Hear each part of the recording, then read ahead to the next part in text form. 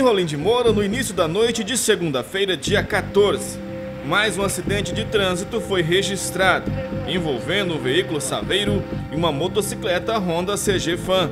De acordo com as informações, o acidente aconteceu na RO 479, nas proximidades do aeroporto. O motociclista e o motorista do veículo Saveiro seguia pela RO 479 sentido a BR 364. O motociclista, ao dar sinal para adentrar em sua propriedade, acabou sendo atingido pelo veículo que seguia logo atrás.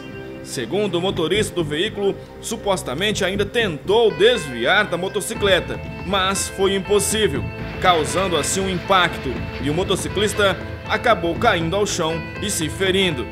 O Corpo de Bombeiros esteve no local e prestou os atendimentos de primeiros socorros ao motociclista. E conforme relatos dos militares, o motociclista sofreu duas lacerações, pé e na canela, e foi encaminhado para o hospital municipal.